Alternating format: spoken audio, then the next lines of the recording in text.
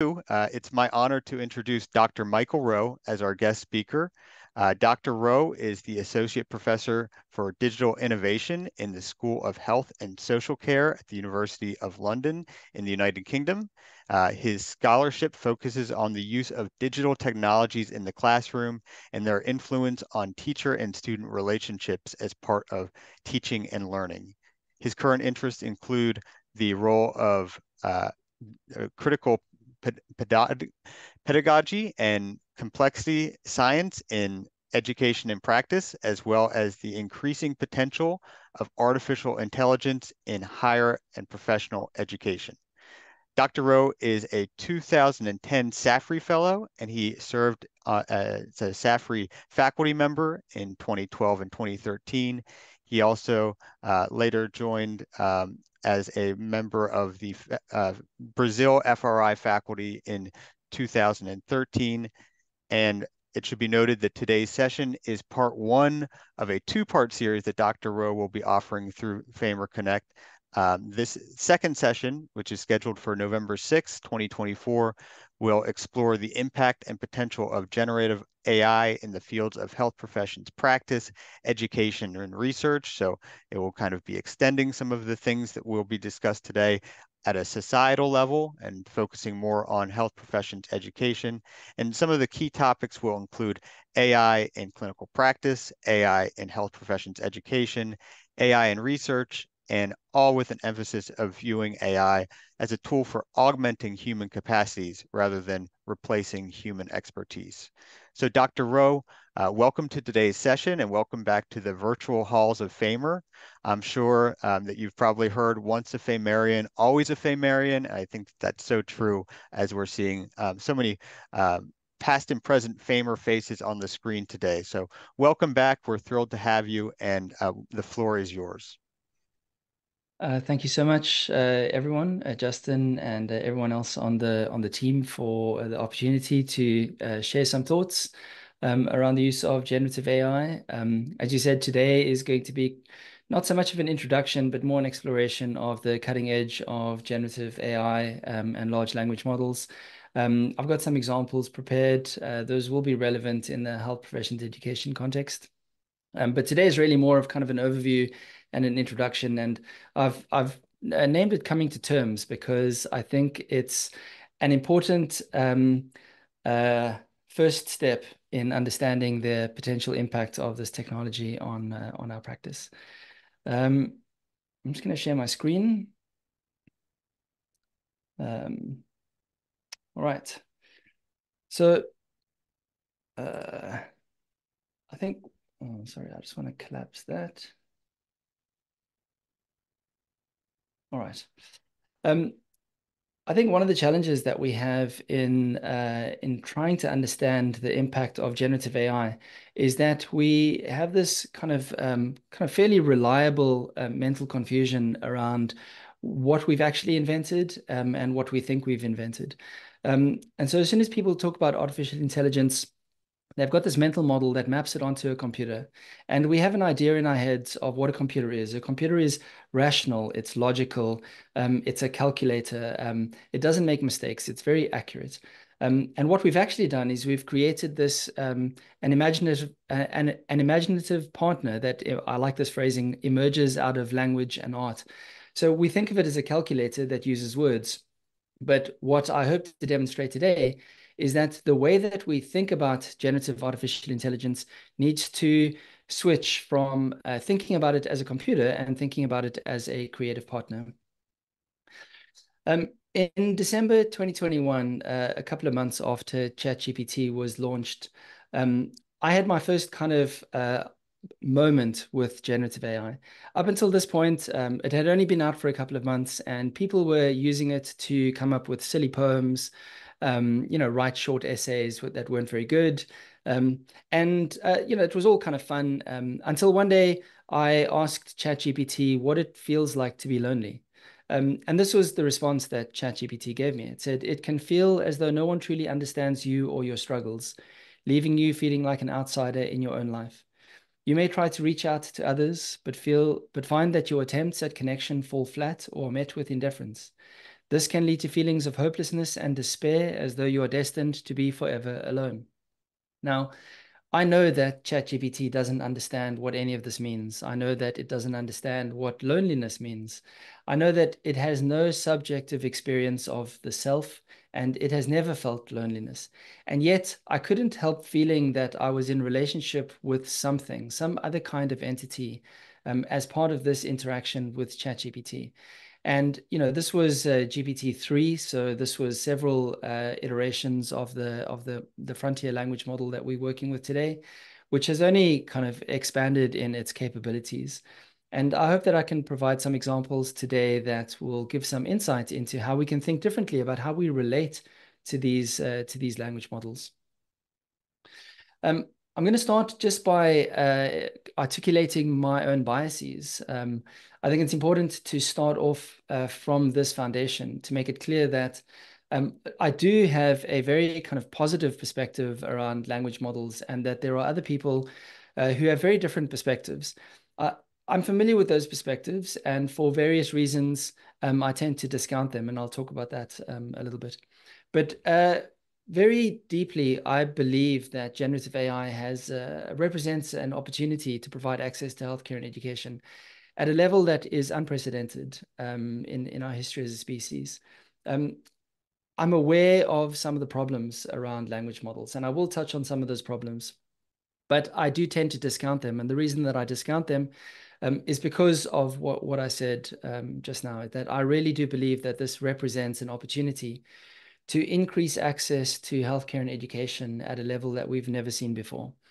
Um, so I know that there are copyright concerns. I do think that copyright as a legal framework um, is not really uh, well positioned to uh, understand what to do with generative AI.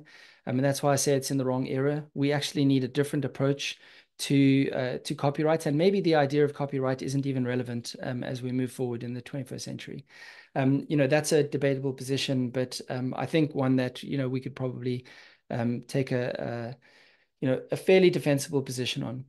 Um, I definitely um, agree that there are environmental concerns. Um, I've got almonds in brackets there because um, I don't think most people appreciate how um, uh, water, um, what's the word? Uh, I guess thirsty almond crops are. So if if you wanted to uh, grow a, handful of almonds, I think it requires you know some astronomical amount of water um, to grow those almonds. And yet we don't see people lining the streets asking for um, you know people to stop growing almonds. Um, we've got this weird uh, um, relationship with technology and the environment where we are perfectly happy to you know drive our cars and get in airplanes and fly around the world um, and eat almonds.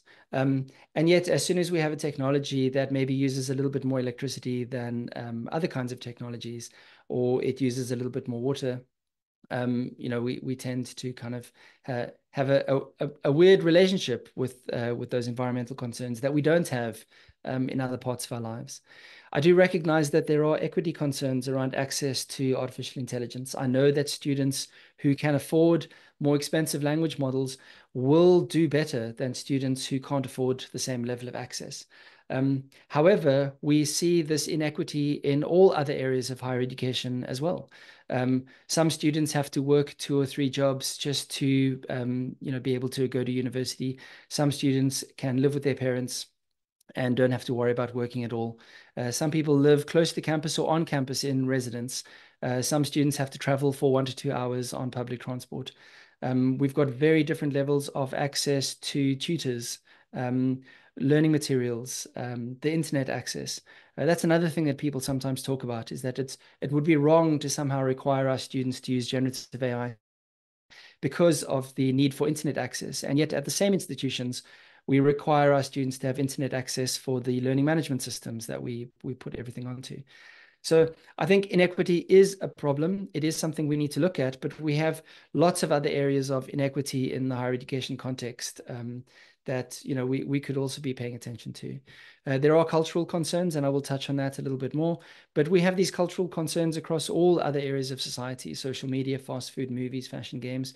We see the incursion or the dominance of um, some kinds of cultures um, that uh, that dominate the discourse and that kind of uh, dilute all other kinds of cultures. Um, so this isn't an AI problem. This is a problem with humanity. Um, and I tend to regard myself as an AI pragmatist rather than an AI optimist. And I think the difference between those two things is that a, an AI optimist will look at the positive um, against all other um, areas, whereas I would tend to say that I'm going to look at how we can use this in a realistic, practical way today, uh, acknowledging that we have all these other problems that we need to, we do need to address. But I don't think that we should wait until we've solved all of those problems before we move forward, um, because I think that the opportunities and the lost opportunities, if we don't move forward, are going to be uh, too significant. So I do have a biased perspective, and I just wanted to make sure that that is kind of clear to everyone um, before before I even start. So just in case, um, you know, you, you've kind of heard of this generative AI thing, large language models, but you're not 100% sure exactly what it is. This is just a, a very little bit of an overview. Um, all that generative AI is, is a next word predictor. That is all that it ever does. It predicts the next word in a sentence. It takes your initial prompt that you give it, and it says, based on the words in your prompt, um, the next likely word in the sentence is going to be X. And then it just works through an enormous number of probabilities. And it says, well, this is the word with the highest probability of being next in the sentence. And it just puts that word in. And this, uh, just out of interest, is one of the reasons why language models are actually not very good at maths um, out the box. They're getting better. Um, and I'll give some examples of that in the next session. Um, but ultimately, they're, they're only predicting the next word in a sentence. It's really hard to do any kind of uh, planning or reasoning activity when you're only ever looking one word ahead. Um, so that's all that a language model is ever doing. And if you consider that it's only a next word predictor, it's actually quite astounding um, to consider what it's capable of. Uh, generative AI is multimodal, which means that it's uh, capable of taking in and outputting text, audio, image, and video. And I'll give some examples of, of what some of that looks like um, in a little bit. Uh, generative AI is increasing in competence. Um, so it seems like every time a new frontier language model gets released, all of the things that it wasn't able to do, well, maybe that's not entirely true, not all of the things, but many of the things that it wasn't able to do in the last iteration are now fairly simple. And the best example that I can think of is that when language models first came out, they were really bad at citation. Um, and so it would fabricate or hallucinate citations and just make them up. So you'd ask for um, the evidence to support a response that a language model has just given you, and it would say, "Yeah, absolutely. Here's all the books and the uh, and the papers that I'm using to support the response," and none of those would exist. Well, citation is pretty much a solved problem when it comes to generative AI, and I'll give an, exa an, an example of um, uh, why why I think that's true. Um, having said that, it does still make mistakes. Um, and again, in a little bit, I'll talk about why I don't think that that matters. Uh, generative AI is increasingly something that we're seeing everywhere. So it's already built into the next version of Windows. Uh, so Windows 11 has got Copilot built in. Uh, software, um, operating systems on phones, you're seeing every single piece of software now has an AI component. It's being built into cars and phones. And essentially, this represents something that I think of as intelligence on demand. Um, now, when I say intelligence, I mean intelligence, not consciousness. Um, and so I, I, do think that some people conflate intelligence with consciousness. And just because something is intelligent, um, it can still be non sentient. It still has no idea that uh, anything exists, it has no idea that we exist. And so interacting with it, even though it feels like you're interacting with something that understands what you're saying, it really doesn't. Um, I say for everyone for free, even though I know, again, that's not entirely true. But this is probably the most democratic technology we've ever had in the world. The most cutting edge frontier models are available uh, via ChatGPT, um, uh, GPT 4.0, Claude 3.5, Copilot, Llama 3.1. Uh, these are all language models where you can get the best version of that technology for free um, if you've got an internet connection it's not often that you see that level of access provided for many other kinds of technology. So I think that that might be a controversial claim that this is a, a very democratic technology, and hopefully that's something we can talk about um, in some of the discussion sessions today. Um, and another thing that's worth noting is that generative AI has bigger context windows for more accurate responses to increasingly complex prompts. And what I mean by that is the context window is, first of all, the little area where you can type something in. So you can type a prompt into a language model and you can ask it questions, you can give it instructions. And I'll give, I'll give loads of examples of what that looks like. But you can also upload documentation. Um, so you can attach documents to language models, and that then forms part of the context window. So you can upload a, a, PhD thesis, for example, and then have a conversation with the language model about that thesis. You can do the same for a textbook. Um, and the prompts that we're able to ask language models or uh, give language models uh, because of these bigger context windows are getting more and more complex. So I have some prompts that run to several hundred words. Um, and, and, and again, I'll, I'll give some examples of what, of what some of those kind of uh, might look like. I do think that um, some people confuse generative AI with search, uh, where we've been conditioned over the last 20 years to uh, build our prompts by reducing complexity uh, with uh, search. So we go to Google and we have maybe a difficult question that we'd like to explore. And we've been trained to reduce the complexity of that question to a series of keywords. So we we strip out some of the words um, that we might want to use, and we really just kind of limit it to these kind of five five keywords uh, that people tend to use. Generative AI is not like that. What we actually want to do is we want to increase complexity, increase context. Um, Another way that people think generative AI is a little bit like search is that they think the responses are being retrieved from a database. Um, and so there are concerns around things like plagiarism. If you think that you're asking a language model a question and then it's retrieving a response from a database without giving attribution to the um, to the source of that response, but they're not being retrieved from a database. They're being generated one word at a time using your prompt as a starting point. And this kind of uh, eccentricity or weird feature of generative AI means that it has no ground truth. Um, this is changing um, with some of the newer language models that use a technique called uh, RAG, Retrieval Augmented Generation. But essentially, uh, what a vanilla language model is doing, a basic language model, is that it's generating the response and it's not comparing that response to any kind of understanding of the world. And so it's unable to map its response onto reality and to give a sense of whether or not the response is true um, or accurate. Now, some of the newer language models are able to do this. So for example, um, Gemini by Google, it has a button in it where you can ask Google to do a search on the response. And what it does is it takes the response that it's generated, and then it does an internet search. And based on what it finds on the internet, it'll come back and it'll say that it's fairly uh, confident that this part of the response is quite accurate, but it's not so confident about this part of the response. And it'll come back and it'll, you know, quite truthfully say, I've actually got no no basis for this other part of the response. I couldn't find anything on the on the internet that led me to say this thing. And so it's one way that we can start to get a sense of how much confidence we can have in the responses from uh, from language models. The other thing that uh, we can do is we can do this thing where uh, we upload documentation to the language model. We say, base your response on this, uh, on the documentation that I've uploaded. And when we do that, we've established a little bit of ground truth for the model where we say that I only want your response to draw information from what I've given you. So you're not going to uh, you're not going to make anything up. You're just going to look at uh, what I've given you. Now they do still make stuff up, and this is a part of the randomness component of language models where it's going to give you a different response every time. And people uh, have this weird kind of intuition where they think that that's a problem. And yet, if we look at human beings, human beings are unable to give the exact same response to every question. Um, you know, I can ask you a question, unless it's, you know, a short question like what's the capital of France. But for most of the kinds of questions that we ask people, um, I'm going to give you a different response to that question if I give it to you today or if I give it to you tomorrow. Now, when I say different, I mean it's different in the uh, uh, in the kind in the uh, the exact words that I use, but the spirit of the response is obviously going to be more or less the same. Now, language models are the same thing. When we say that they give different responses, it's not that they give polar opposite responses at different times. They just use different words.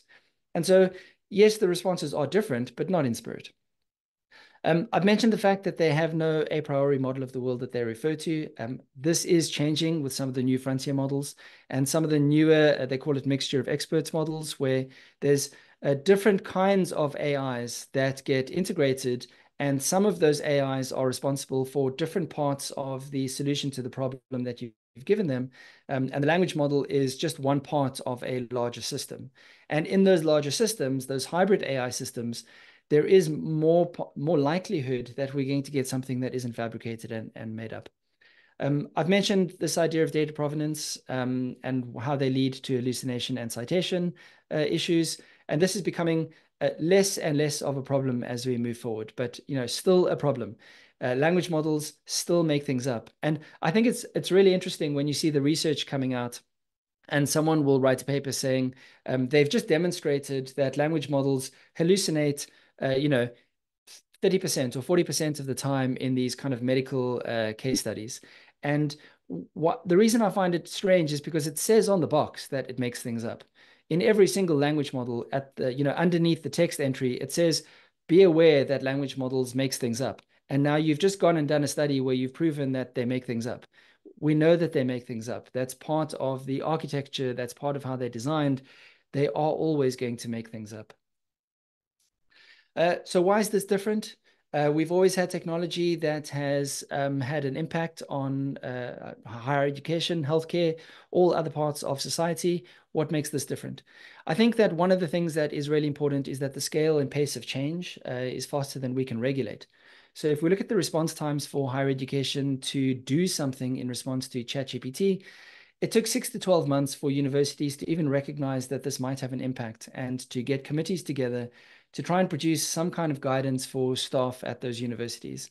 And still, universities are very, very slow um, in responding, where they end up responding to a version of a language model that's, uh, you know, one or even two times uh, further back um, compared to what the, you know, cutting edge of the commercial sector are dealing with. And so um, I see universities that are uh, producing documentation in response to a GPT 3.5 level uh, language model when we already have GPT 4.0. Um, and so they're, they're not able to keep up with the speed at which updates are coming out. And the same is true of professional regulators. I haven't seen any examples of professional regulators um, across any of the allied health professions or, or, medicine or nursing who have produced any kind of regulation around uh, the use of AI in, in practice. Um, there are some guidelines that have been produced, um, but uh, as far as I know, no professional regulation. Um, and so, uh, you know, that's just a, you know, giving people a sense of how difficult it is to respond to uh, what's happening. Because as soon as you start producing any kind of documentation in response to something, it changes and we start getting a different version. We start seeing a different version, which changes its capabilities. And so you know, all the time that you've spent regulating the previous version, you kind of have to throw most of that stuff away. Um, I do believe that AI gives everyone access to deep expertise across a wide range of knowledge domains. And um, again, hopefully I'll convince you that that statement is true over the course of this presentation. Um, I think some people have done a very naive prompt with language models and they get a response and they say, this is not deep expertise. There's you know nothing to pay attention to here. Something that I think is really uh, interesting that very few people in health professions education are talking about is the idea that um, AI is a tool that we can use to build new tools. Um, so we can start programming computers with natural language. You can get a computer to build a computer program just by talking to it, just by asking it to build a program that does something, even if you have no programming skills. And this is still very early days, but I think the ability to create single use uh, computer applications, I think is going to unleash a wave of creativity and productivity that we can't even imagine yet. Another thing that's really interesting about um, language models is that they don't come with instruction manuals. You know, how many times have you been to the help file of a piece of software? If you go to Microsoft Word and you open up, there's a help file. And that help file will tell you how to create headings. It'll tell you uh, how to create a table of contents, how to create hyperlinks. Language models don't have instruction manuals, and that's because we don't really know how they work. It's really difficult to know exactly how a language model is going to respond, uh, respond to any of the novel prompts that people come up with. And so that's something that is also unusual um, with this kind of technology. And then the last thing is that this technology learns and adapts as it as it's exposed to more data. Now, this isn't necessarily your data. Um, as an example, uh, Claude uh, is the language model from a company called Anthropic. It's very clear in Claude's terms of service that they do not take your prompts uh, or the documentation that you upload and integrate that back into their training data. So all of your conversation with Claude is yours. They don't own it. They don't have the intellectual property. They don't take any of that information and build it back into their training data. Um, you can opt into that, but by default, uh, you're opted out. Whereas uh, OpenAI's uh, terms of service are the opposite. Um, OpenAI's terms of service do allow them to take your interactions and to build that back into the training data. So the point I want to make here is that yes, AI does learn as it's exposed to more data, but that doesn't necessarily mean that it's being exposed to your data. And so there is a lot of concern in health professions education about people's, um, you know, uploading information to these language models, and then for that information being integrated into the training data, which means that it becomes part of the next version.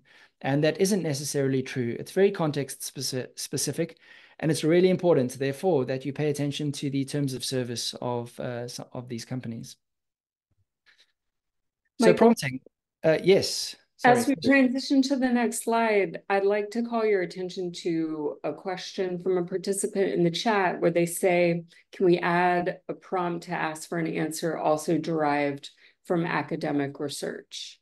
Would you like to speak to that now or is that upcoming in the presentation?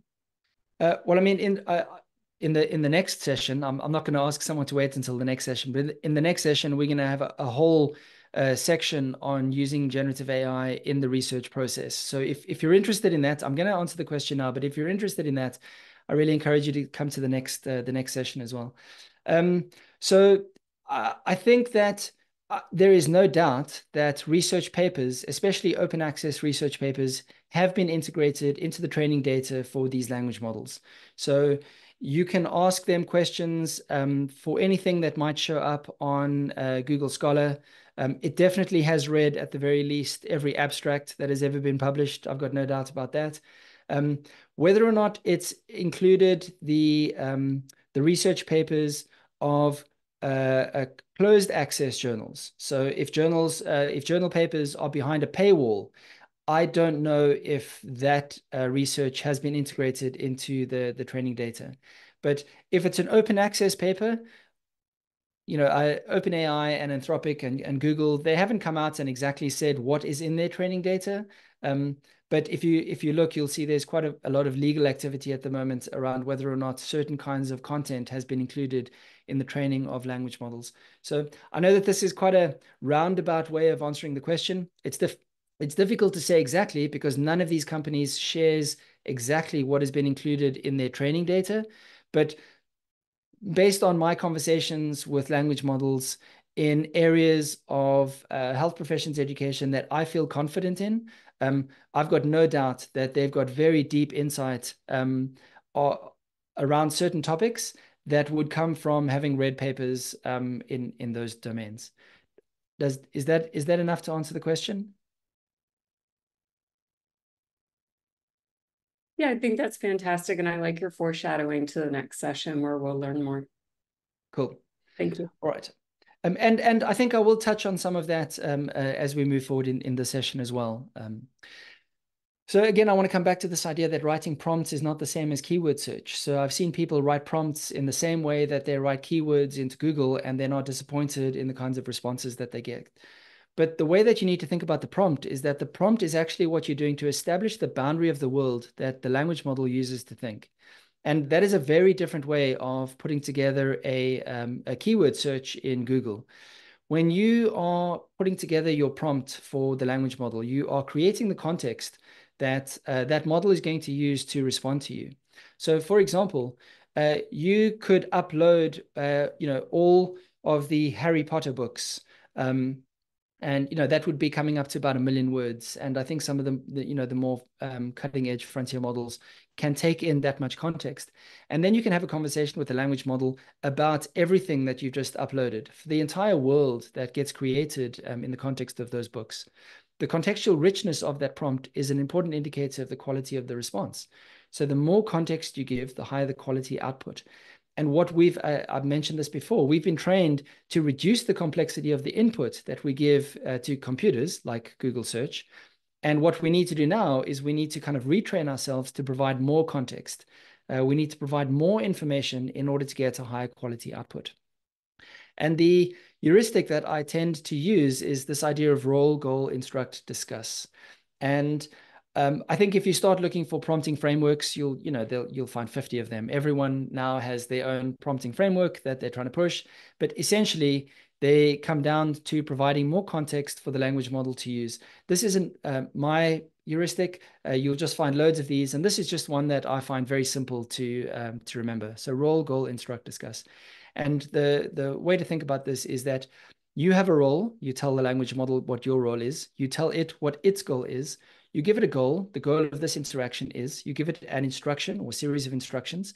And then this is really important, uh, this last part, which most people don't do. They regard it as a one-off interaction. They ask a question, they get a response, and they say, oh, well, that, that's not very impressive. One of the most powerful things you can do with language model is to discuss. So you then say, in paragraph two, you said this. I want to push back on that because I don't think that what you said is true or something like that. And when you start having an iterative conversation with language models, you start to get a sense of uh, how deep that rabbit hole goes. Um, so, for example, I've given two very simple prompts there. You are, I am, I want you to. So that kind of a framework tends to work quite quite well. Or you're an experienced clinician. I'm a novice. I need to understand this particular concept. And what the language model will do then is it understands that you're a novice. It understands what novice means in the context of the thing that you're about to talk about. It understands what are the kinds of things that an experienced clinician might know. But what it's also able to do is it's able to establish a pathway from novice to experienced. And it's able to lead you along that pathway in a way that you may not even know how to do. So you could, for example, upload a research paper and say, You're an experienced clinician, I'm a novice. Explain this research paper to me in um, in a way that an undergraduate physiotherapy student um, might need to to read it. So those are the kinds of uh, transformations of information that language models are really good at, and which, when you establish context, it's able to really um, uh, help you in your learning in a in a very different way to if you just treat it like an oracle or, you know something that's going to give you an answer. So I thought maybe it would be a good idea to to introduce a little bit of kind of practical, uh, you know, work into the session.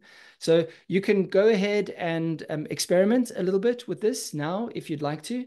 Uh, I think we we you know if you haven't um, uh, signed up for any of these language models, you know, don't feel any pressure to go ahead and do that. I've got, um, I've worked this through this prompt. Um, so I've got some example slides of, of what it looks like. So don't feel like you have to go away and do it. But if you want to, while I'm kind of going through some some examples um, of of this particular interaction, you know, open up a open up a language model. I recommend Claude. Um, uh, Claude is not available all over the world. Kind of comes back to this idea of equity and, and access. ChatGPT and Gemini. Gemini is is Google's model. They are available more widely than Claude. But in my experience, I find that Claude just has a better response to the kinds of questions that that I tend to ask. Um, so this is a bit of a, a practical session. Um, if you'd like to, again, don't feel like you have to. I'm going to work through these examples myself. Um, and what I'm trying to illustrate here is this idea of a naive prompt versus a structured prompt. And I've given an example of a naive prompt, uh, which is how do you manage a patient who is day one post ACL repair? ACL is the anterior cruciate ligament. And this is something that we might expect of a, a physiotherapy student. We might ask a physiotherapy student a question like this when they're working on their practical placement.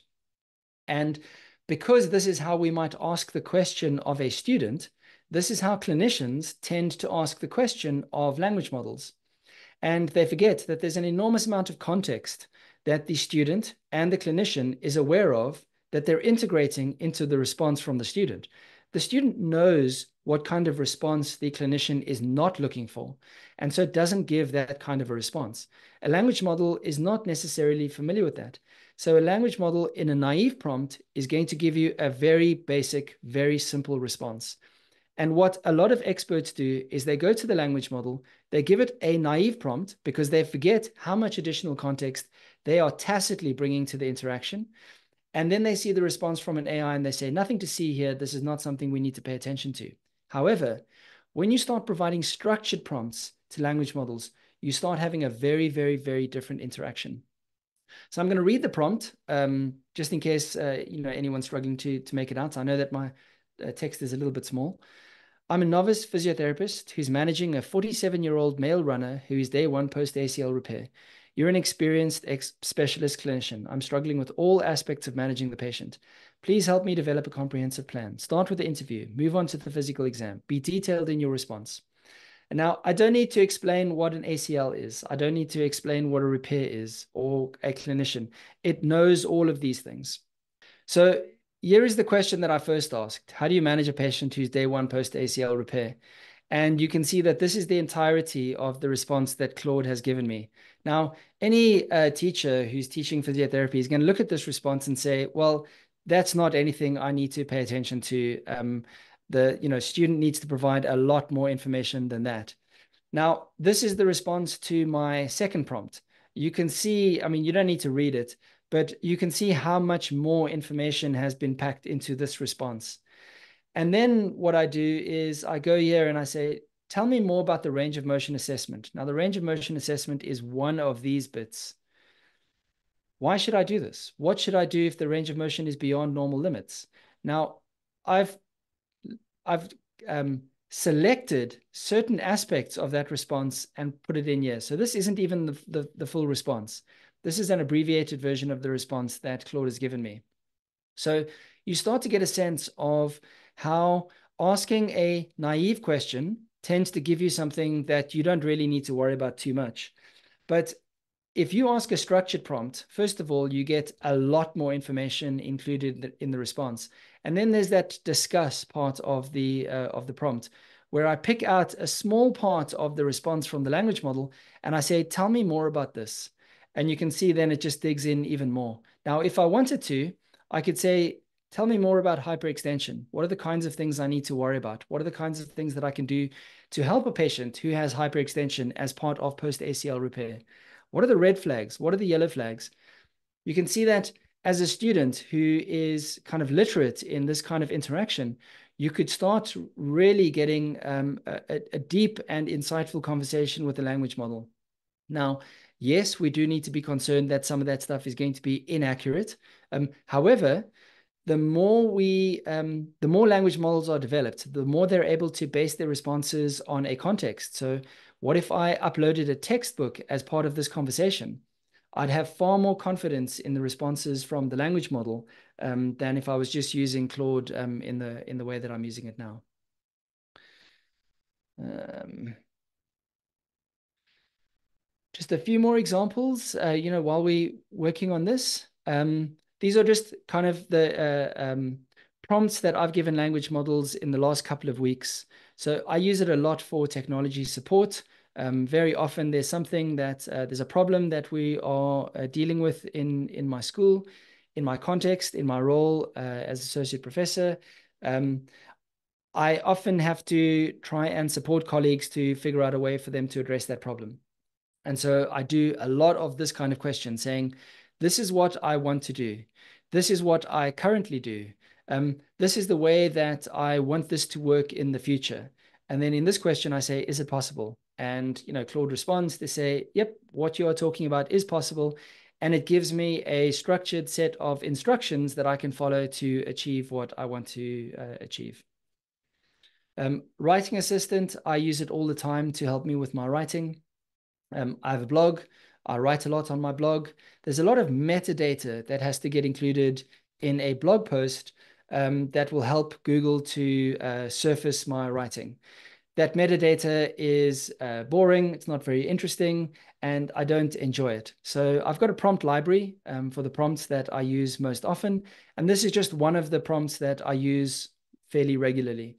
So I take the, the blog post that I've written, I upload it to Claude, I say, give me a 50 word excerpt, uh, give me a single sentence meta description, give me a focus key phrase, suggest a few titles. If there's any major issues with the post itself, point it out to me. So I use this as part of my writing all the time. I basically ask the language model to tell me why I'm wrong, tell me what assumptions I've made, uh, tell me how I can make this better, tell me what my blind spots are. Um, if you think that you can see your blind spots, then you don't really understand what a blind spot is uh, you cannot see your blind spots. And so to think that you've written something like really well where you've addressed all the uh, assumptions and all the things that um, someone else might be able to point out, um, you know, I kind of think that that's a little bit arrogant. We can all do better. We can all improve ourselves. We can all write better. But we don't all have access to someone who has the time and experience and inclination to be able to give feedback on every single piece of writing that we put out there. Language models are really good. They're infinitely patient. They've got perspectives that each of us is not uh, able to access. We the reason we can't access them is because we're blind to them. Like I don't know what it is to write like a woman, to experience the world as a woman, and I can never have access to those experiences.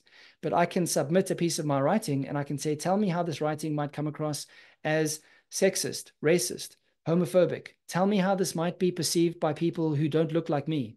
There's all sorts of ways that we can ask language models to help us point out ways of thinking, ways of experiencing that we won't have access to.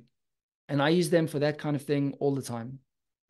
Michael? Um, uh, yes. I want to draw, draw our attention to another great question that's in the chat. Purvi yep. asks, um, how can we check the accuracy of the information that's provided by generative AI? Uh, great question. Um, with difficulty is the is the short answer.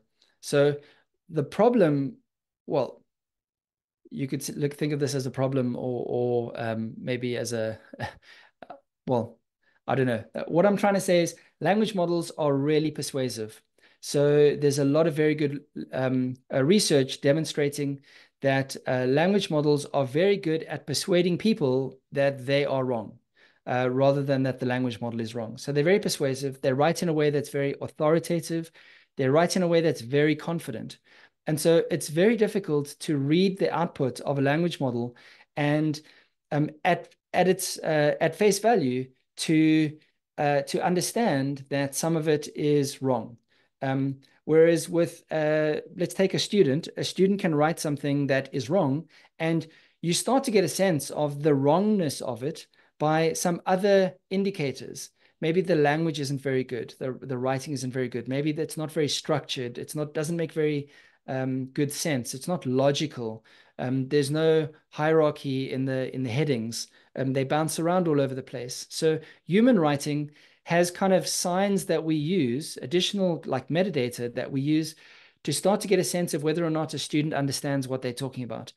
Language models don't suffer from that problem they are able to write in a very structured way. Um, very, as I said, very authoritative, very confident. So the only way to tell is one, you're an expert and you know whether it's right or wrong, um, or you have to go and do the research. Um, otherwise, there is a sense of trust uh, that you kind of have to bring into that uh, interaction. Now, is this a problem? It depends on what kinds of question you're asking the language model. I very rarely ask the language model to give me responses to uh, questions that require a high level of factual accuracy. I'm not really asking the language models to be oracles. An oracle is something that is going to give you an accurate response. Um, it kind of knows uh, the answers to all your questions. I don't think of it in that way. And so I tend not to ask those kinds of questions. Um, I tend to ask the kinds of questions that I might ask a more experienced uh, clinician or a critical friend or a more experienced academic or a more experienced writer, an editor maybe. Um, I ask for feedback. Um, and just like I know that humans might give me feedback that's incorrect, inaccurate, biased, um, I expect the same things from language models. So I, I know that this is a long rambling response to the question, but it's it's not really an easy question to respond to, the, the response to those kinds of questions is it depends. It depends what kinds of question you've asked. It depends what kinds of response you're looking for. Um, so, you know, the, I mentioned this a little bit later in the talk. I say ask them for ideas, not answers. So if you ask language models for ideas, it doesn't really matter if some of those responses are inaccurate because when I ask a human being for lots of ideas, some of those responses are going to be inaccurate. Some of them are going to be off the mark. Um, we need to develop a sense of taste around the kinds of questions that we ask language models. Uh, like we have to develop a sense of taste when it comes to deciding what kinds of research questions we should pay attention to. Um, so yeah, the the only way to really do it, if you don't know the answer, is to go to the literature and to um, uh, do a lot of reading on your own to see if uh, language models are, uh, or to see if this language model is accurate in its response to you.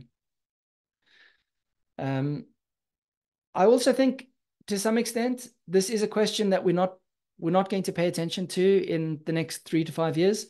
Um, if you think about Google Maps, for example, how much time do you commit to asking whether or not Google Maps has given you the most accurate route? Uh, you don't. And it's using a different kind of AI, but Google Maps is just using artificial intelligence to determine the most effective way, not the quickest, uh, always, the most effective way for you to get from A to, to B. And it takes all sorts of variables into account the presence of toll roads, private roads, speed, speed limits, uh, traffic, and congestion. It takes all these variables and it gives you what might be considered the best route. It might not be the shortest route, um, but it will be the best route. Is it the shortest distance or the shortest in time? We have come to trust that Google Maps is going to give us the best route, taking all these variables into account. No one spends two seconds thinking about whether or not Google Maps has really given you the best route. I think we're going to get to the same point with language models. They're going to give you the best answer based on your context. It may not be the most accurate, um, but it's going to be the best response. And um, I, I think that that's something that we need to definitely be aware of. Don't make the assumption that these things are accurate. Um, but I think we need to be more discerning in how we think about their responses. Again, apologies for the very long, rambling answer, um, but great question. Um, I, I, don't think there are easy answers. Um, I guess I had I had kind of thought that we might take a little bit of a pause at this point, um, you know, because I've I've covered quite a lot. Uh, I was just wondering if it's worth, you know, addressing any questions based on this little opportunity to to experiment a little bit. Um, in case you've tried something, uh, have you got any questions about something that you've tried? Are there any questions in the chat that you know now might be a good time to respond to? There there are a number of questions in the chat. Um, some about um, high quality journals requiring a notice about whether you've used AI? Um, what experience do you have? Yeah, great question. Um, the, the response that, that I give to that question is that some journals, the editorial boards of some journals are starting to um, let authors know that they encourage the use of generative AI. Um, and the reason for that is that the uh, journals are saying we really care about the dissemination of good science, good ideas. Um, your ability to speak English should not uh, impede your ability to publish your good research. And we know that peer reviewers tend to discriminate against people whose uh, language, who, whose first language isn't English. So when you don't write very well in English, your uh, paper has a higher chance of being rejected um, because you haven't been able to articulate your ideas as well as someone who writes uh, in better English. And so a lot of a lot of journals, some journals are starting to take the position that you should be using generative AI to improve your writing, um, as long as the ideas are yours, as long as the science is yours, as long as the work that you've done is yours. You need to be accountable and responsible for for the work that you've done, but your ability to write English well shouldn't impact on your ability to get your research published. So I, I tend to kind of fall on that side of the argument. Um, I know that some journals are require, requiring authors to um, make uh, to provide disclaimers about whether or not they've used language models. I think that we're going to see more and more journals asking for that. I'm going. I think we're then going to start seeing every single piece of writing that ever gets published will have a disclaimer on it because every single piece of writing will be influenced by language models. This is already built into the next version of Microsoft Word. Now, when you're writing your article in Microsoft Word and it's giving you suggestions on how to improve your grammar, you would be mad not to accept those suggestions to improve your grammar. we are going to get to the same point where it starts saying, here's three different versions of the paragraph that you've just written. Would you like me to substitute what you've written with one of these three paragraphs? And if you read that paragraph and it conveys the same message and it has the same spirit and it has the same meaning, but it's articulated in a way that you're not capable of, why would you not choose that? So we are moving towards a society where all written communication will be mediated by a language model in some form or another, in which case every single piece of writing will have to come with a disclaimer. And at that point, we will just assume that all writing is influenced by a language model. So again, maybe not a satisfactory response, maybe a bit rambling, um, but I think we are going to get to a point where we will have to assume that a language model has influenced your writing in some way because it will just be built into every piece of software that has a text interface. Another um, question. Thank you, Michael. Um, I tend to agree with you. That's where we're going to end up. Um, another question from Namrata is that a couple people have commented on how safe is it to share your unpublished data on any of these language models? That's one reason I like Claude, that it stays with you. Yeah. Um, that's a that's a tricky question. Um, I mean, the the conservative approach and the safe approach is to say, don't upload anything that you're not comfortable sharing with anyone else. Um, you can upload your data set, um, and these language models are phenomenal at doing data analysis. Uh, you know, so if you're thinking about doing it, I, I, I strongly encourage people to try it. Um, I took the transcript of my PhD, some of my PhD thesis, I uploaded it to Claude. I said, do a thematic analysis of this uh, using this framework from these authors. It was phenomenal. Um, it got probably 70 to 80% of what I came up with but it took me six months and it took Claude 20 seconds. Um, language models are being built into the next version of um, NVivo and Atlas TI. So qualitative data analysis is not something that we are going to be expecting anyone to be doing in the future. Um, this will just be built into uh, the software that we use today. You know, I can already feel some people having heart attacks, uh, saying never. You know, um, I, I do the that kind of analysis. Um, but if you think about SPSS, nobody does any of that quantitative analysis. Nobody does the actual maths um, when it comes to quantitative data analysis. You you type in your variables and it gives you a response. You just pick the um, the uh, the statistical tests that you want it to do, and it does the tests. Nobody does the maths. Um, it's going to be the same with qualitative data analysis. Nobody's actually going to do that qualitative data analysis. Having said that, if you are feeling nervous, don't upload it. Um, the timeline between you uploading it and it being integrated into the next set of training data that the next version gets trained on, I mean, that's going to be long enough that I think you'll probably publish before um, it gets included.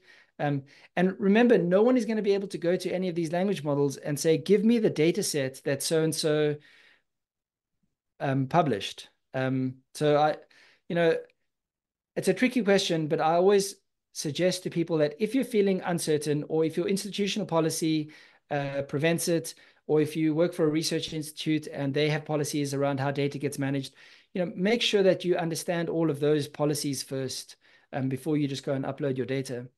But I'm I tend to be more permissive um, around what I think people should upload um, uh, into these language models again, very long answer, but I'm just I'm aware that there's a lot of context around all of these questions, um, and so it's very rare that you can give a, a very simple response.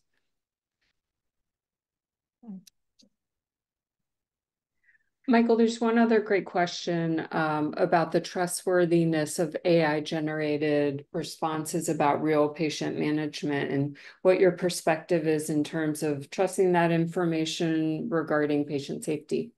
Yeah, um, I would just say, you know, how much do you trust uh, anyone that you talk to about patient management? Um, so we have novice clinicians asking experienced clinicians for guidance, and you know, we might say that that's a really good um, way of collaborating around patient management. And yet we know that people who are experienced uh, or experience by itself isn't necessarily a good indicator on whether or not someone is giving you good advice. Um, experienced people may also be, be people who are most conservative, who maybe haven't kept up with the latest evidence base. Um, and so just like we need to be uh, cautious around what we do with information that gets provided to us by human beings, we need to be cautious around the information that gets provided by language models. So that idea of trustworthiness again is is a difficult question. Um, what I tend to do is I go to language models and I say, give me advice. I'm struggling with these problems. Give me advice. And I decide whether or not I use that advice. I don't look at a language model as giving me a solution to the problem that I must implement. I look at the solution and I say, you know what? This doesn't fit. This doesn't feel right. But this has given me a different way of thinking about the problem. And I think that has been enormously helpful. So I think of it as the ability to get an enormous amount of different perspectives on a problem that I'm struggling with. And then I can choose which of those perspectives I pay attention to, uh, given my background and experience and skill level. Um, so, and, and what I would also suggest is that for now, you need to assume that you are responsible for the outcomes of whatever you do with the patient. Um, again, I'm going to be going into all of this in a lot more detail in the next session where I talk about specific examples of clinical practice, education, and research. Um, so maybe we should move on uh, into the next section. Um, and then, you know, if, if you have questions around clinical practice, education, and research, specific questions, we can talk about that in a lot more detail in, in the next session. Um, so I'm gonna I'm gonna move on. I'm also conscious of of the time, um, and I am conscious of the fact that I still have uh, a few more slides, quite a few more slides. Um, Okay, so I'll go through this in, in a little bit of detail. Um, there are enormous unanticipated consequences around the training of uh, large language models. We're seeing emergent behavior at scale that wasn't programmed into the language model. So when uh, OpenAI first, and, and Google to some extent, first started uh, training large language models, all that they were trying to do is to try and get the language model to understand the uh, syntax of, uh, of human language. So basically structure. Um, what is the likelihood of this word following this word? That's all that they wanted to do. And what they started seeing was the emergence of an understanding of semantics or meaning. And so this wasn't something that they were looking for. They didn't anticipate it. They didn't plan for it. They didn't design the training of language models to get this outcome. We started seeing the natural emergence of an understanding of meaning based purely on structure. So language models started to get a sense of what it means to have a negative sentiment about a phrase, even though the um, researchers weren't telling it what positive sentiment means, negative sentiment. It had no understanding of what individual words actually mean. And yet it started to develop an understanding of human language and meaning. Um, LLMs are very weird. So I've just pulled out some examples if you take a prompt and you add meaningless fillers like dot, dot, dot um, into your prompt, you don't add any other information, you just add dot, dot, dot every now and again, you tend to get better outcomes, better responses. And they think it's because every time the language model encounters that meaningless filler, it goes back and it thinks through what it's already written and it uses what it's already written to improve the next few words. So you tend to get better responses when you add like gibberish to your prompt. Um, now these are these are kind of small studies um, that people have done, so you know it doesn't always work, and that's the other thing with language models is that you know it doesn't always work. Um, another thing that's very weird is that if you ask it to complete certain kinds of mathematical problems, it does better if you frame the mathematical problem in the context that the language model is a Star Trek fleet commander. If you just ask it to solve the problem, it doesn't do as well as if you tell it that you are a fleet commander of a TV series. That's very, very strange. If you wanted to solve a different kind of mathematical problem, you provide a context where the language model is a spy in a political thriller, and it's able to better perform the mathematics um, in that problem. Now, these are uh, language models that have developed these prompts. So, you know, again, we kind of can, can take them with a, a grain of salt. Um, Language models sometimes respond better when you offer them a tip in the 10 to $20 range. So if you tell them that you will give them a tip if they really work hard on the problem, then they tend to give better responses. And I don't know if anybody would like to have a guess about why language models perform slightly worse in December than in May. There's no reason why this should be true, but when people manipulate the date ranges of the software that the language models are running on, they tend to give better outputs uh, in May than they do in December. They're on vacation. Exactly. Uh, language models have seemed to um, uh, uh, take on the idea that human beings do less work in December than in May. And so they do less work in December than in May. Um, now, again, you know, th these are kind of, they were kind of small statistical anomalies that, that kind of came out in, uh, in the studies that I've cited here. But it's very weird that software should behave in this way. Um, and then the other unanticipated consequence was that uh, an understanding of text could lead to an understanding of images, audio, and video, uh, the multimodality component. So I've got some examples of the multimodality component that might be very, very uh, weird if you haven't been experimenting with this. Um, I took, this is a photograph of a physiotherapist doing a shoulder adduction test that we typically do for shoulder impingement syndrome. And all that I did was I said to the language model, analyze what's happening in the picture. Based on your analysis, what is the most likely test being conducted here? Um, I renamed the file so there was nothing about physiotherapist or impingement in the file name. All that it had to go on was the picture. And you can see it does an analysis. And the third answer that it gives is the test is commonly used to assess shoulder impingement syndrome. And this was a shoulder impingement syndrome test. This is another example. Again, I just uploaded a photograph. Um, that's a doctor doing a coordination test of a patient with Parkinson's. Um, this prompt is a little bit weird. I had to tell Claude that we were doing a role-playing scenario because Claude was very reluctant to do any kind of diagnosis of the patient.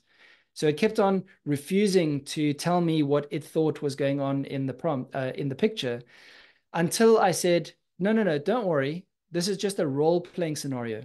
Pretend you're a medical student observing a consultation. I've taken a photo of that consultation. As a medical student in this role-playing scenario, I want you to analyze the photo. And then it just went ahead and it analyzed the picture for me. But if I just said analyze the picture, it said, I'm just a language model. I'm not comfortable um, uh, telling you what I think is going on in the picture. Anyway, these things are very strange. Um, so Claude says, my best guess, because I didn't just ask it what's going on. I said, what condition does the patient have? So I was asking it to do a diagnosis, and that's why it was reluctant to answer.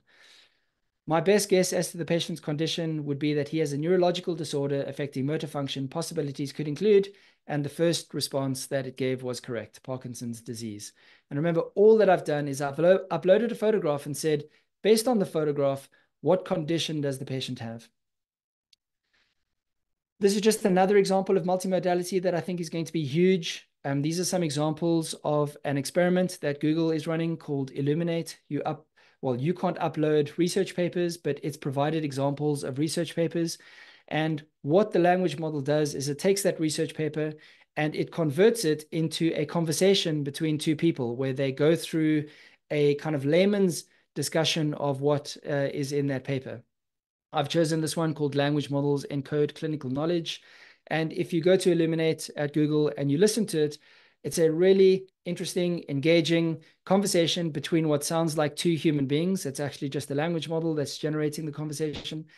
Imagine the, po the possibilities when our students are going to be able to upload textbooks, upload research papers, upload lectures, and just listen to that lecture as if it were a conversation between two human beings. So this is another thing that multimodality enables, the, the transformation um, of information between different modalities. Uh, this is a website that I asked Claude to create. I said, build a simple website on the topic of health professions education. I wanted to be an introduction to HPC, HPE for novice educators. And then I said, create an outline of whatever you think are the most important concepts, uh, content for novices to be aware of create a framework for a course as well.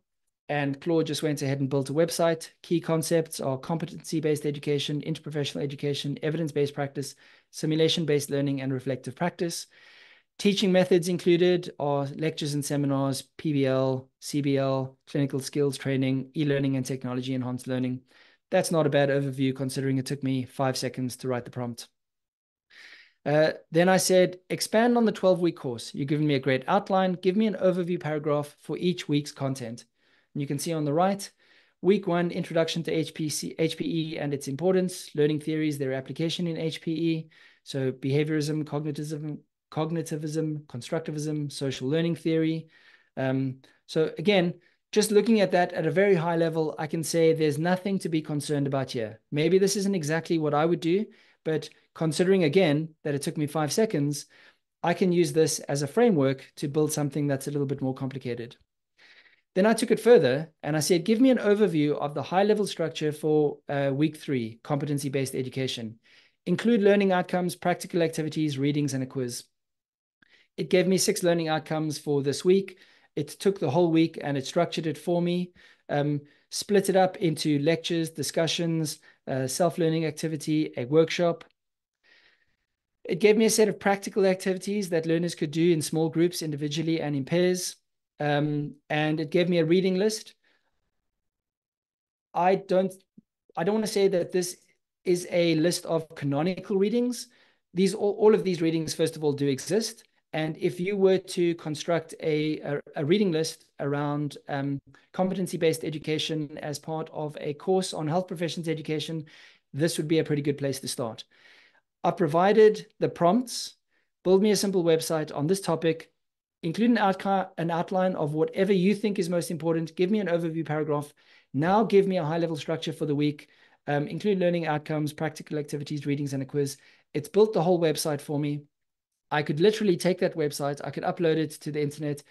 It has included a quiz, an interactive quiz where you can select questions from an MCQ um, uh, uh, test. Um, and the whole thing took me about 30 seconds to make. This is definitely something that we should be thinking about as part of our uh, practice as educators. Now, I've done a website. You could just as easily do a Word document, PDF, you could take all of this information and put it into a set of PowerPoint slides. Um, it's able to do all of that as well. This is just another example of the kind of thing that you can do. Um, again, uh, the prompt was build me a simple website on the topic of research and education, use whatever content you think is best. And then uh, if you look at the header, um, it's a little bit difficult to read that uh, the header. So I just said, make the header background color light green, and it just did that for me. So we can start building websites. We can tell it what we want it to do, and it will just do it. You don't need to know anything about HTML, about website building, about code. It will just build this stuff for you. Um, text to image, very briefly, uh, image generators. I won't go into the detail about that. There are a lot of concerns around text to image. Um, again, I, I, won't go into those concerns in detail. I'm aware that they exist, um, but text to image is not going to go away, and we're only going to get see it being used more and more. Uh, this is just an example of how things have changed. This was a prompt uh, nursing school leader. Um, that was the response in 2022. In 2024, it's the one on the right. Um, that's an enormous amount of progress in two years. There is still bias in that, though. Nurses tend to be um, uh, uh, presented as uh, white females. Um, if you ask for diversity, then it will start giving you a little bit more diversity but there are some problems with the, the questions around diversity that I will um, get into. This is just a, a, simple example of some images that I created with Microsoft's Copilot. Um, it was something that I wanted for my website. I said, create an image showing a library, reading room, bookshelves, art studio, technology, include pot plants, a writing desk. What it gave me was the one on top. I said, make the image simpler, make the room neater, recreate as an abstract image, recreate in an isometric style. And I include this here just to give an example of the kind of iterative prompting that we can do with, uh, with language models. So don't look at the first response and say that's garbage. Look at the first response and then uh, tell the language model what you want it to do in order to make it better. So again, a, little bit of a, a practical uh, session if you'd like. Um, if you've got a language model open in front of you, just experiment with some of these kinds of prompts where you ask it to create something. So this is not asking it to answer something. You're asking it to create something, build something, build a website about. Um, if you're using Claude, you need to turn on an experimental feature called artifacts in settings. I'm not going to go into that in detail just because it's not really um, a tutorial on, on how to do that. But if you can do that, go ahead and ask it to build you a website. ChatGPT won't build you a website. As far as I know, it will give you uh, instructions on what you need to do in order to build a website. But something that you should be able to do is to ask it to draft a lesson plan based on, give it some learning outcomes, or create an abstract image showing whatever in the style of Impressionism, using vibrant colors, using muted colors. Um, in the style of digital art, you can give it all of these kinds of prompts and just see what it gives back to you. I really encourage people to experiment with language models as much as possible, um, play around with it and see what it does well and what it doesn't do well. Um, I'll move on a little bit later to uh, some of the problems with that, but we'll pause again. Um, I don't know if if you know if if anybody you know now might be a time to take a comfort break. Um, but uh, just you know in the interest of time, um, I'm not going to carry on with the presentation. Maybe we can answer a few more questions about some of the stuff that I've demonstrated about using language models to build things, to create something new. Um, is that okay? Um, uh, I'm just talking to the to the uh, to the organizers now. Absolutely. Um, I I think that uh, if we if we wanted to take maybe a a five minute break um, for anyone that wanted to uh, do some of the interactive exercises with the uh, AI tools um, that they are familiar with, or at least download a tool that's been mentioned here today, um, that would be great. Um, and just have a quick uh, option for a bio break if, if not. And then uh, we could resume in about five minutes. Um, that would that would be wonderful. Um, how does that sound to you, Michael? Yeah, perfect. Okay, great.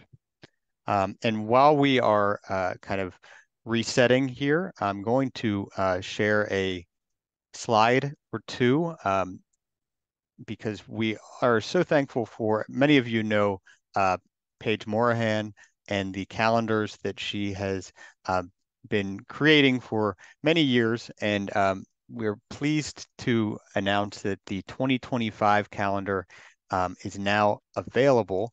And I do have a screenshot or two of some of the sample imagery um, from uh, this year's calendar. Um, so I'm going to display that. And uh, I'm going to welcome Page to uh, just say a few brief words um, on, on her calendar. Um, so I'm going to just share that real quick and hopefully everyone can see um, the screen.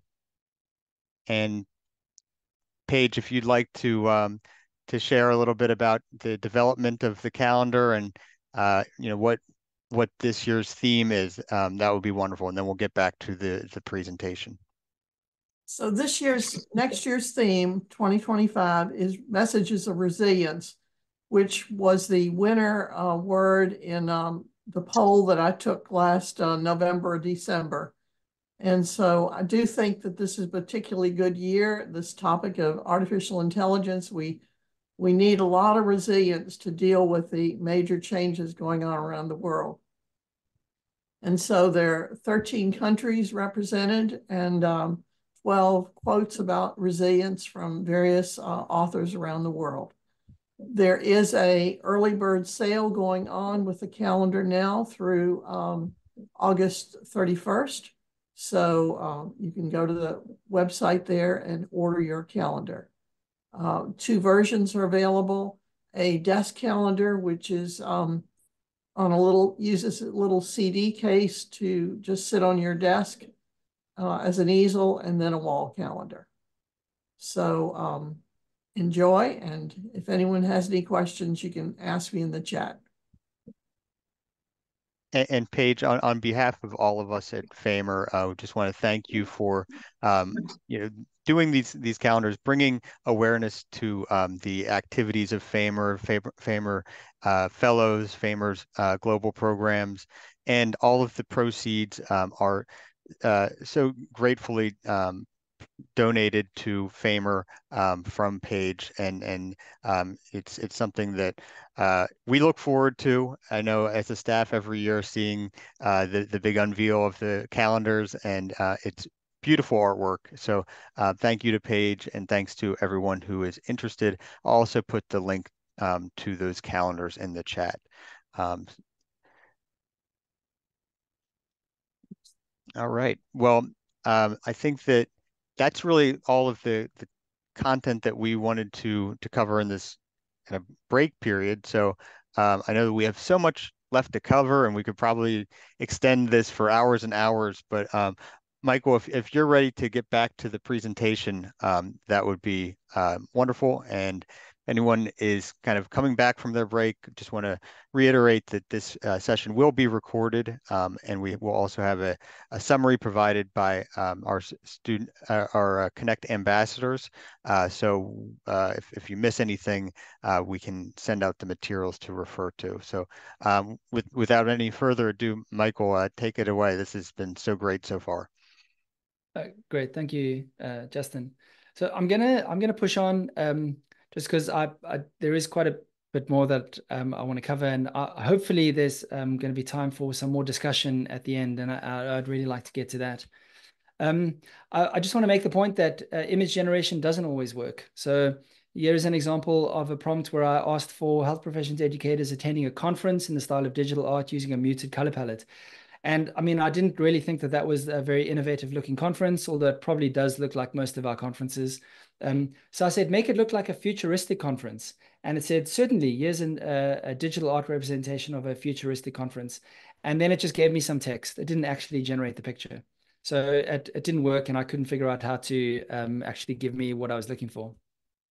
Here's another example of how it didn't work. Um, so Google has actually taken their language model, uh, not the language model, their image generator.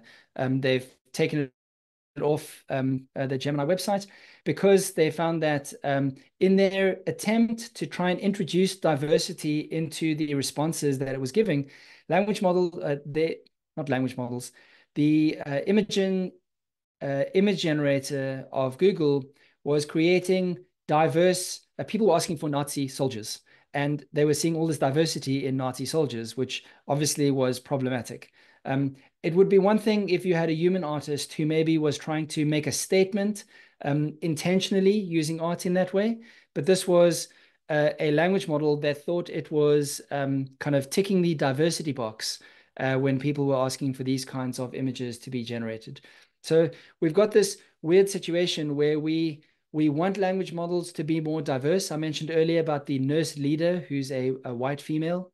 Um, we want diversity in the kinds of responses that we get back from language models, but in certain contexts, diversity would be inappropriate to uh, to show. So the the companies are trying to wrestle with this issue, this tension. Must remember that language models make up their responses. It's not like someone at Google is sitting there with a tick box and a, a slider that they can control um, what's being what's being shown. Um, this is all stuff that's being generated on the fly and it's a very difficult problem to solve. So i just i just put it here um, as a reminder that we do have significant problems um, with with language models. We uh, you know even though i tend to be more on the optimistic side there's still an enormous number of uh, challenges that we need to resolve. I've talked before about how language models are biased, they're confused, they're forgetful, they lack data provenance. But I still kind of keep coming back to this idea that people also have built-in errors. People are also biased. We also get confused. We are forgetful and we lack data provenance. None of us have any idea why we have the beliefs that we do. We have our beliefs because of where we grew up, what our families were like, the language that we speak, the part of the world that we were born into, um, our religious beliefs. All of these things influence uh, all of the ways that we think about the world. So we also lack data provenance. So we've got these built-in errors as well, but somehow we've figured out a system that we can use to trust people. Even though people forget things, even though the most experienced clinician in the world, we can't trust to be factually accurate in all areas of practice. So I keep coming back to this idea. What if we treated AI like we treat people? We evaluate the responses of AI on a spectrum that assumes some level of error, and we adjust our expectations accordingly. If I've uploaded a paper and I've asked Claude questions about that paper, I'm fairly confident in the accuracy of the responses that Claude gives me because I've done it enough to actually go and check the responses that Claude gives me, because I've asked questions about areas of disciplinary expertise that I feel quite confident in, I know that Claude is more than likely going to give me a response that I can trust. You may not have the same level of trust because you haven't built up that relationship with Claude. I know it sounds weird to talk about it like that, but if you don't have that relationship where you trust it, then you should not trust it. Just like you shouldn't trust people that you've just met. Maybe that's, you know, controversial statement, but in some contexts, you want to give people time and space to be able to build up a rapport. And once they've demonstrated that they are trustworthy, then you can give them more responsibility. The same should be true of language models. Once you've developed a, a relationship with the language model where you can trust it based on your interactions with it, you can start trusting it more and more and give it more and more responsibility. And something that I think people don't really recognize is that we talk about collaborating with AI. We need to collaborate. We need to collaborate. But collaboration means that you're both responsible for weak outputs. So we tend to want to blame AI when we get a bad output. And yet when we take the same AI and we provide a structured prompt with more context, we get better outputs. It's because we've worked together in a better way that the language model has been able to give us a better output. When we get weak outputs, it's partly our fault. And that isn't really something that people feel very comfortable um, uh, confronting. So I quite like this idea of treating generative AI like a person. It does have expertise within and across professional domains. It has extensive knowledge and the ability to apply it in creative ways. People say that computers can't be creative. Um, and maybe in some ways, computers can't be creative, but language models are very creative. In many respects, a lot more creative than most human beings. Um, it has the ability to understand and navigate complexity. Another thing that we think that we are very good at. We're actually really bad at complexity. It's very difficult for human beings to juggle the interacting relationships between many variables. We really struggle to do that. Language models are actually quite good at doing that. It's got expert communication skills through natural language. Uh, I mentioned that we should evaluate its responses, and this collaboration means that you're both responsible for weak outputs. Um, this is a really nice paper, um, shows that AI reduces the skills gap between top and bottom performers. So if you're a novice in an area, you can use AI to improve your performance so that you more closely approximate people at the top of your field. And people who are top performers in one domain are unlikely to be top performers in other domains. So if you are a very experienced clinician or educator in one area, AI gives you the ability to improve your performance in other areas where you are currently not performing um, at the top level. So the lowest performers in any domain can significantly increase performance within that domain. So these might be novices, students, and top performers in one domain can increase performance across domains where they have less expertise. So the kind of heuristic that I use that I recommend people um, think about is human plus AI is almost always going to be better than human on their own or AI on their own. So don't look at AI as the thing that um, needs to be uh, perfect. Uh, we, we constantly are putting uh, AI into this dynamic where it's human versus machine. Who's better? Um, and the problem with that is that the areas in which AI uh, outperform as human beings is getting more and more, and the areas in which human beings outperform AI is getting smaller and smaller. So if you identify as being somebody who can do something that AI can't, then every time a new language model comes up comes out, you're at risk of being made redundant because you are saying that only you can do this thing. But tomorrow, AI is going to be able to do that thing that you can do as well. So we used to say that only human beings can be creative. Only human beings can play chess. Only human beings can play Go. Only human beings can come up with accurate citations. Well, all of those things are no longer true. And so if you rather think of yourself as being someone who can raise your level of performance, raise the standard of your game by using AI, then as AI improves, so your performance improves as well. So instead of looking at the typical view, which is AI versus humans in a zero sum game, where everything that the AI is able to do that is better than you, it takes away something from you. It's better to look at this as a positive sum game where human plus AI ev evolve together and work together to produce higher standards and better levels of outcomes. So benefits of AI augmentation, we can tackle complex problems that are beyond human capacity complement human creativity and intuition, and accelerate progress in critical areas like healthcare and climate change. when we use AI in those areas, we tend to produce better outputs than if we try and do it on our own, or if AI tries to do it on their own. So rather than asking, is AI better than me? Ask, how do I use AI to be better? So again, it's another um, opportunity to, to maybe practice a little bit. Um, if you'd like to, I've got a worked example that I'm going to go through anyway, so don't feel like you, you have to do this. Um, I will make these slides available um, to anyone who wants. I'll, I'll send them to Justin and, and maybe he can put it on the website for you to download. So don't feel like you have to do all of this now. You can come back at any time and, and maybe work through some of these examples. Um, upload a document and then ask the model to do something with the document. So give it your context and your role, summarize the document, ask it for takeaways, ask for practical implications. So I'm going to go forward um, and show what some of these look like. Um, I was going to do a CPD activity um, for some uh, clinicians in an NHS trust uh, where we have a collaboration. Um, they wanted to develop uh, clinical reasoning, and we were interested in this key features approach. So I just went to Google Scholar. I picked the top five articles with the highest number of citations uh, with key features approach to developing clinical reasoning.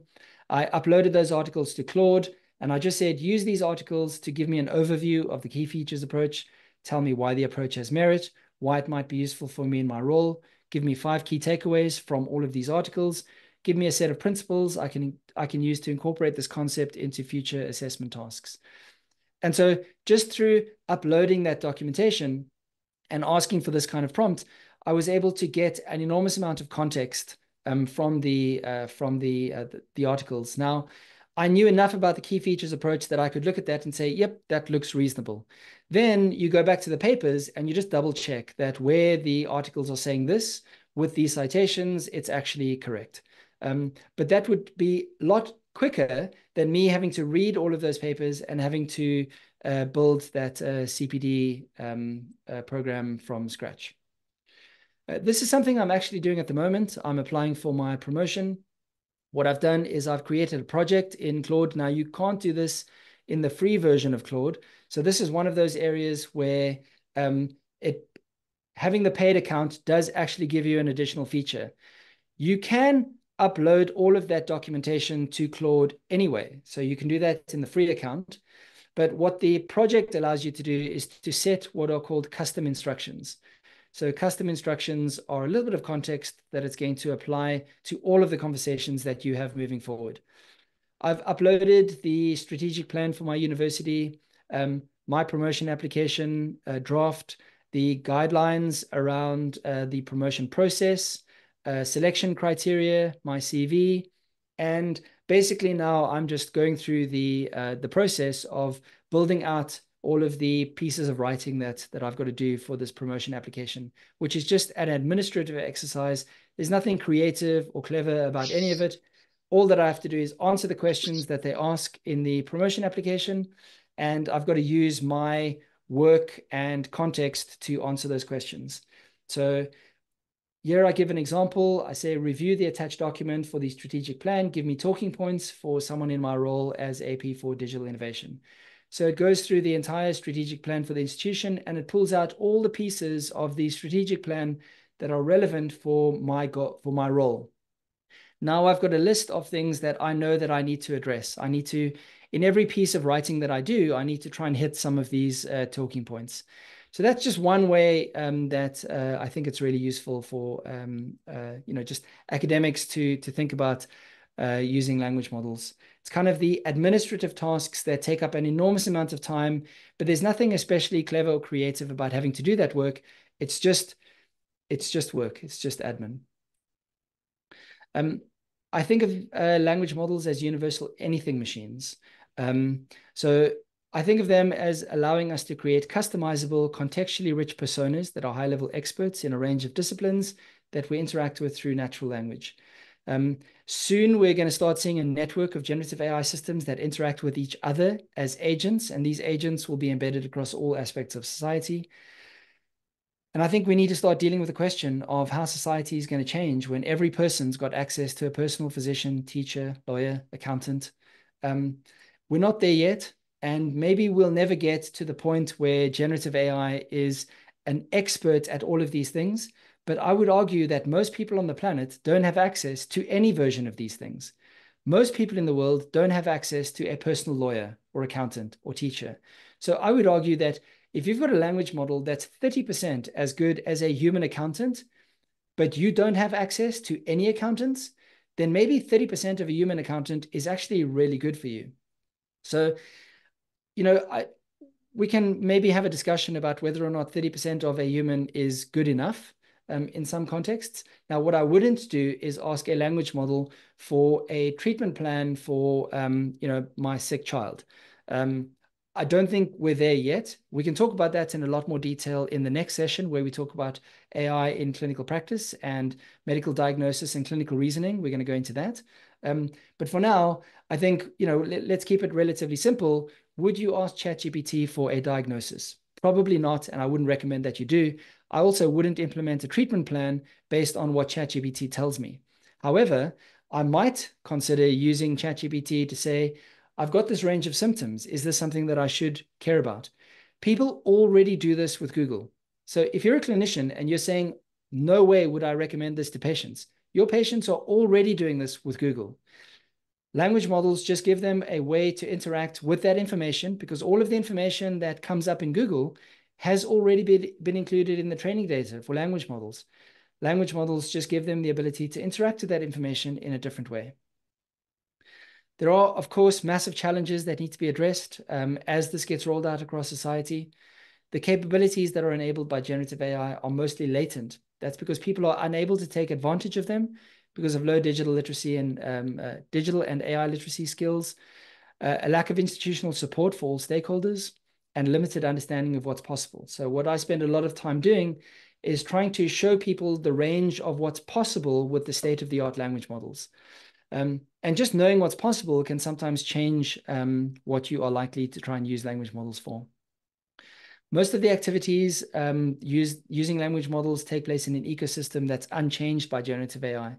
So you may use generative AI as part of your clinical practice. Let's talk about evidence-based practice, where you go to the literature and use language models to summarize research papers. No one person can keep up with all the research that's being published. You can upload uh, research papers and ask Claude to uh, give you summaries, uh, maybe that are more comprehensive than um, uh, than the abstract. But the health system in general is not going to be integrating language models anytime soon. So th there's this disconnect between what you're doing as an individual and the larger ecosystem that you're a part of. My recommendations for integrating generative AI, use more of it for more tasks, more of the time. Uh, it takes about 10 hours to familiarize yourself with generative AI. That's not uh, my statistic. That just seems to be coming out of the literature. I suggest to people that they think of themselves as a project manager where you allocate tasks to generative AI. What kind of tasks? Well, administrative for now. But later on, through the use of personas and agents, I think we're going to be start. I think we're going to start um, allocating much more complex projects to generative AI and just letting them go ahead and do those things. A scary idea is giving them access to a bank account so that they can do transactions on your behalf. We're already seeing some interesting examples where generative AI is able to hire human beings to complete parts of larger projects that the AI is not able to do independently. So that's an interesting idea, a little bit scary. And my last recommendation is don't ask it for answers, ask it for ideas, um, except in cases where models are fine-tuned and trained on specific data sets. So we're going to talk about this in a lot more detail um, in the next session. So for example, Google has a language model called AMIE. AMIE is not based on Gemini. Gemini is their kind of vanilla language model that you can interact with now.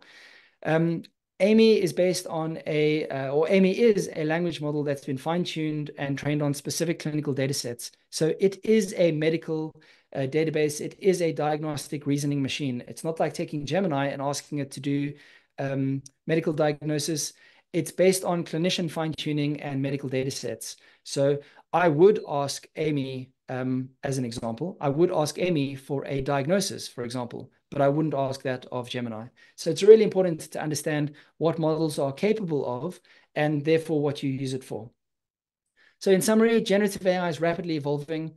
It offers multimodal capabilities and it's increasing in competence.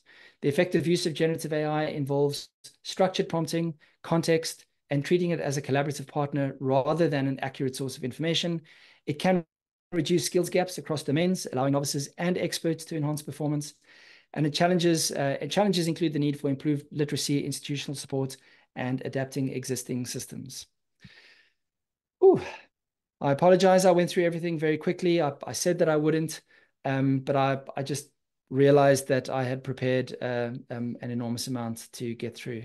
So I hope that I've left enough time for us to have a, a bit of a, a, discussion. If anyone has any questions, um, I'd love to love to hear what your thoughts are.